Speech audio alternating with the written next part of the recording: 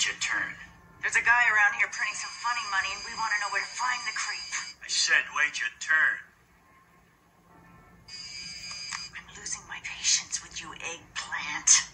Geez, I didn't know you had a sister, Sledge. I don't. And I got nothing to say to you. Yeah? Let's take out his teeth. You work on his uppers, I'll take out his lowers. All right, all right, all right. I'll tell you. The only counterfeit money around is coming from a check cashing joint downtown. Where is it? Sure, the diamonds are tightly packed. Don't worry, Mr. LaRue. I know my business. The stones are between the protective pad and the hoof packet. The only way to get them out is to pull the shoe and remove the pad. Now just make sure. The only way a stone could drop out of here is if one of the horses split a pad on a sharp rock. These animals are going from here directly to the horse meat buyer in Belgium. Not before they pass through customs. With $8 million worth of cut diamonds in their hooves. Well, that's all of them. I'll sure breathe easier when we ship them out. please. I say we go for it. One asked you, Walt. You might take your time. You got ten seconds. You don't like me much, do you? You're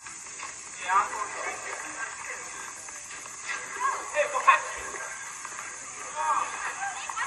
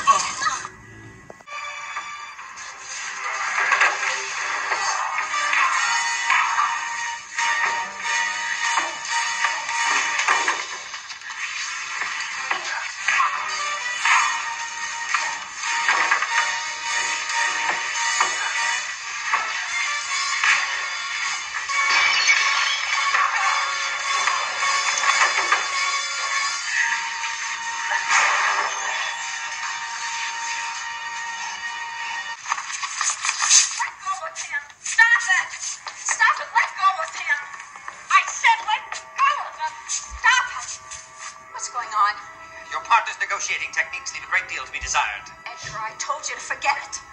Very wise, Charlotte. You people have nothing to be proud of. When the British first come, they ask only to move wagons through our land. Soon they ask no more. They took.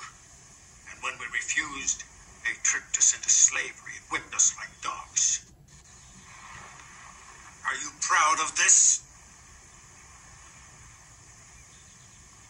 And now the daughters of the great redcoat chief will soon feel the sting of the Frenchman's whip.